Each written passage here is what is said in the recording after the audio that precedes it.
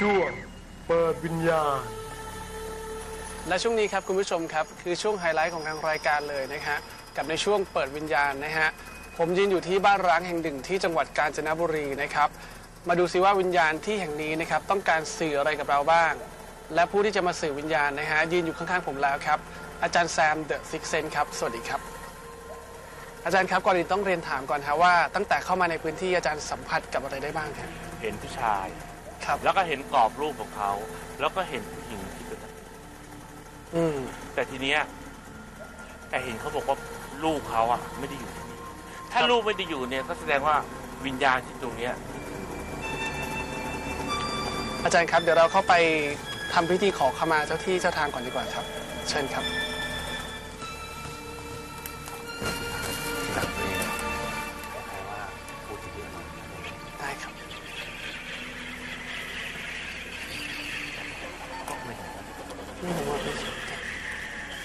ที่แรกเลยนะ เดี๋ยวเราครัมาบ ไหว้ตรงนี้เลยด้านนอกบริเวณก็บ้านอืมดูวิญญาณตรงเนี้ย ถ้ามีก็มาเลยนะที่เป็นผู้ชายเนี่ย หรือเจ้าที่แต่เมื่อกี้มันมองเห็นงูตั้งแต่ข้างนอกนะงูสีดำงูนี่งูสีดำก็เป็นเจ้าที่ที่นี่ อืมแต่ก็ยังไม่แน่นะเผื่อว่างูสีดำอาจจะเป็นเจ้าของบ้านก็ได้ ครับ เพราะว่าเขาอยู่มานานแล้วก็กลายเป็นเจ้าที่อะกินเลย แล้วก็เดี๋ยวถ้าจะเข้าอะไรก็ว่ากันมา มาเลยนะ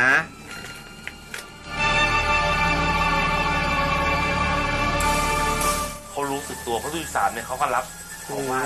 ตักเลย รับเลยนะ และทูบสุดท้ายเนี่ยที่มองเห็นเนี่ยเมื่อกี้เห็นวิญญาณเขานะ แล้วก็มือข้างหนึ่งเขาร้อยพวงมาลัยมา ก็แสดงว่าเขาอยากให้คนน่ะไหว้เขาครับ เทปนี้มาไม่ธรรมดาครับอาจารย์ผมรู้สึกว่าเขาตามเราตลอด อ่าคืออาจารย์ต้องบอกว่าเดินเข้ามาผมเสียวต้นคอตลอดเลยฮะกับบ้านหลังนี้นะเขาฮะคงแบบว่า ตามมาเรื่อยๆ เพราะว่าเขาเป็นห่วงบ้านนี้ ครับ อันนี้ก็เป็นรูปมาดูรูปกันนี่ดีกว่ามารูปอะไรเนี่ยขออนุญาตครับอ๋อมีรูปเยอะมากอาจารย์รูปลูกเขานี่อะปัดดูซินี่รูปน่าจะเป็นรูปเจ้าของบ้านนะเป็นรูปเด็กครับอาจารย์ เออใช่คุณผู้ชมครับ คือเจ้าของบ้านนะฮะอืมเจ้าของบ้าน เพราะเป็นรูปเดียวกับที่อยู่ในนี้ คือเจ้าของบ้านดูดูจากรูปแล้วก็คือเป็นคนจีน ก็อืมใช่เขาก็มีเรื่องอะไรเสียใจเยอะนะที่แบบว่าบอกไม่ได้แล้วก็ มันก้ากลืนอะ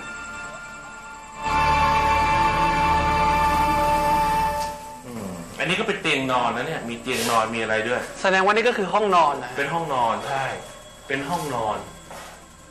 นี่เป็นเตียงนอนใช่ไหมเป็นห้องนอน เป็นเตียงนอนครับอาจารย์ มีลูกอยู่สองสามคน มีลูกอยู่สามคน นี่ฮะอาจารย์เนี่ยมีลูกครับอืมขออนุญาตครับ ลูกเกลื่อนเต็มไปหมดเลยนะ อืม มีลูก อาจารย์บอกว่ามีรูปมีรูปคนที่เขารักหนึ่งคนเป็นผู้หญิง อาจารย์นะสัมผัสได้ว่าเป็นเป็นหนึ่งในนี้ไหมฮะ เป็นผู้หญิงเป็นผู้หญิงก็เป็นหนึ่งในนี้แหละ แต่ลูกเนี่ยก็มีสามเป็นหนึ่งในนี้ เพราะว่าที่ข้างบนเนี่ยเห็นลูกเขาด้วยแล้วก็ตัวเขาแต่ตอนนี้นะครับขึ้นไปดูชั้นสองดีกว่าครับอาจารย์ ดูแล้วแบบความรู้สึกเหมือนบ้านเป็นเป็นเป็นบ้านที่ค่อนข้างอบอุ่นเล็กขนาดเล็ก ๆ ครับอาจารย์อืมแล้วก็ผมรู้สึกว่าแบบอืมเออเต็มไปด้วยความน่าสงสารนะอาจารย์เข้าไปดูยังไงขึ้นมาชั้นสองดูฮะเดินขึ้นมามันรู้สึกบ้านอบอุ่นนะอาจารย์แต่หม่นหม่นหมองหมองๆเศร้าแต่ว่าวิญญาณที่ตายเนี่ยเขาก็ร้องไห้อยู่ตลอดเวลานะเหมือนเขาอยู่คนเดียวๆคือเหมันทุกอย่างในบ้านจะพร้อมมีมีวิดีโอมี มีทุกอย่างอยู่ฮะอาจารย์ดูสิหนังขสออนุมัยญาตไหนครับเนี่ยฮะโอ้ยังเป็นยังเป็นวิดีโออยู่อืนะมเป็นวิดีโออยู่ ในห้องนี้ก็จะมีมีห้องน้ำเล็กๆอีกหนึ่งห้องครับอาจารย์บานประตูที่เราเข้ามาจะมียันลมอืม ไว้อยู่ครับอาจารย์ทุกบาน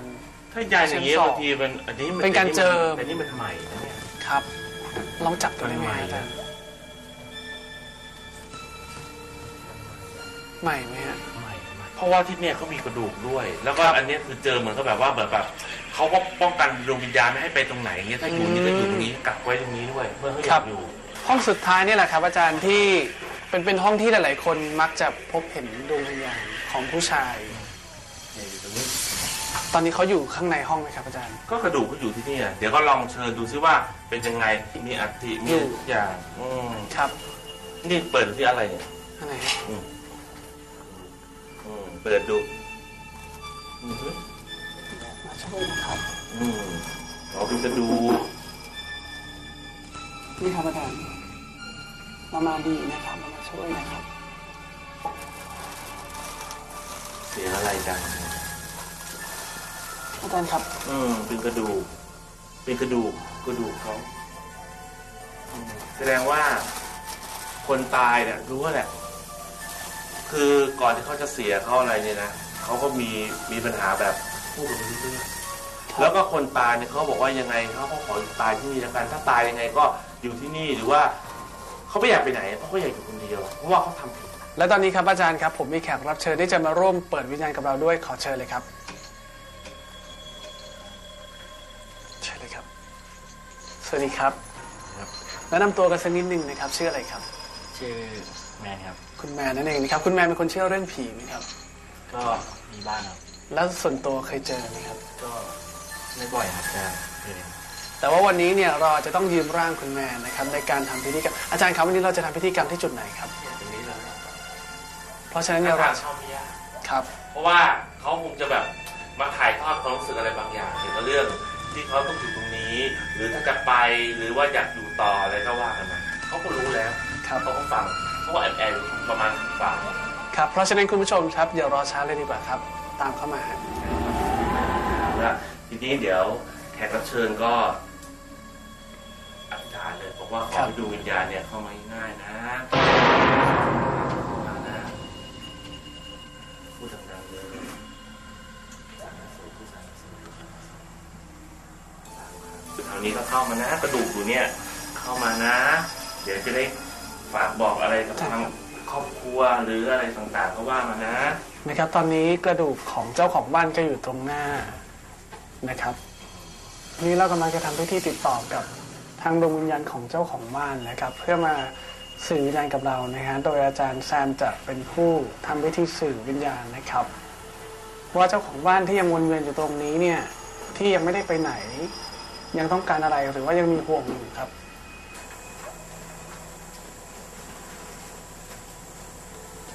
เข้ามาเลยไม่ต้องหนีนะ ไม่ต้องเดินลงมาข้างล่างเข้ามาเข้าล่างเลยนะไม่ต้องเดินลงข้างล่างนะเข้ามาเลยเข้ามาเลยเข้ามาเลยนะ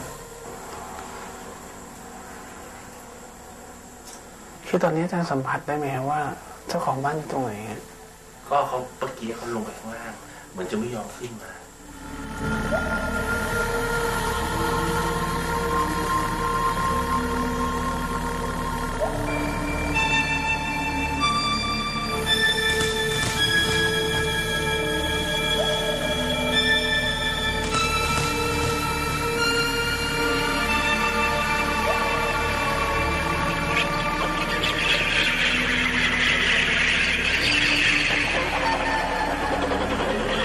ก็ข้างบนเมื่อกี้เราทำพิธีแล้วนะแต่ผีเนี่ยเมื่อกี้เขาลงมาข้างล่างครับ ตรงบันได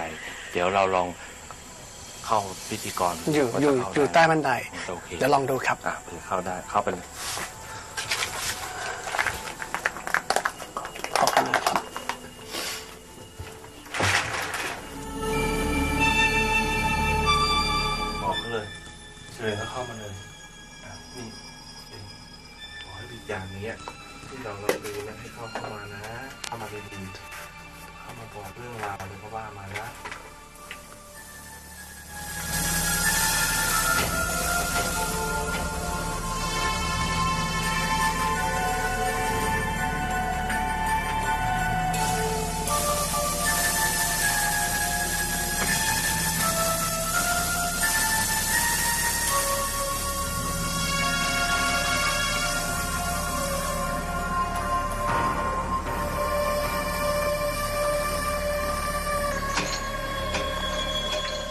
ขยับได้ยังจ๊ะ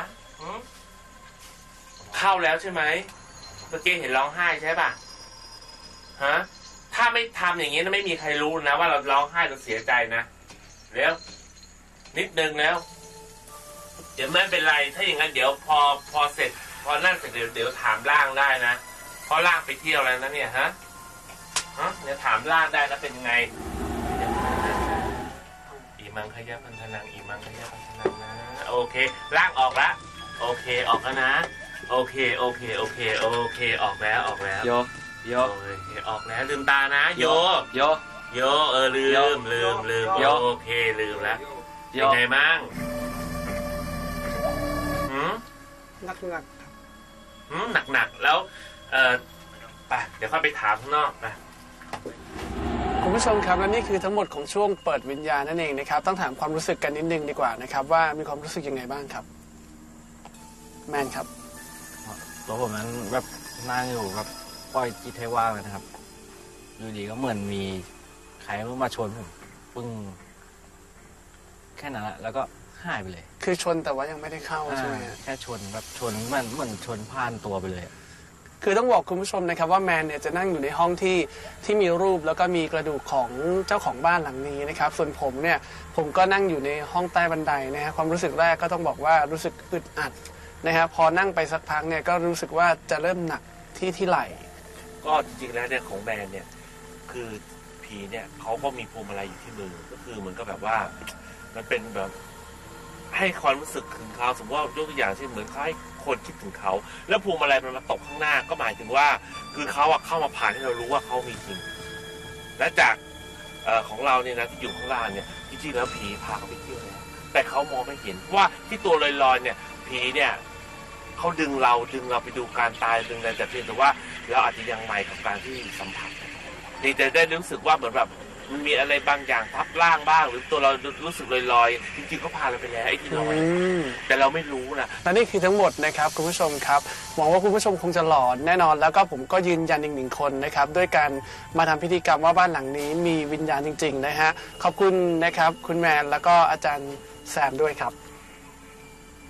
ขอบคุณคุณผู้ชมที่ติดตามกันนะครับ และที่สำคัญขอบคุณทุกดวงวิญญาณครับ ที่เรามายืนอยู่ณจุดนี้ครับ กลับมาพบกันใหม่ในสัปดาห์หน้ากับรายการสัมผัสที่ 6สำหรับวันนี้เราทั้งสามคนต้องกล่าวคำว่าสวัสดีครับรับสมัครผู้ที่ใจกล้าร่วมท้าพิสูจน์ประสบการณ์สยอง กับรายการสัมผัสที่ 6 ติดต่อได้ที่ Facebook